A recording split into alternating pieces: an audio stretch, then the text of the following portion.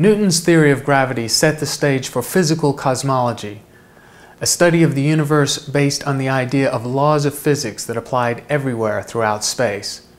And it gave rise to the idea of a clockwork universe, although we now know the universe is so complex that it is far from deterministic.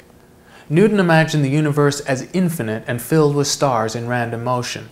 This is essentially a static universe. Newton's rationale was as follows. If the universe had an edge, then the stars near the edge would feel a greater force inside than outside where there are no stars, and so the stars would move inwards. Thus a universe with an edge would be forced to be in motion and collapse. The only way around this is to have an infinite universe filled with stars. Of course, an infinite universe has infinite gravity. This was a problem Newton couldn't address within his theory, so Newtonian cosmology had problems that were known even to Newton at the time.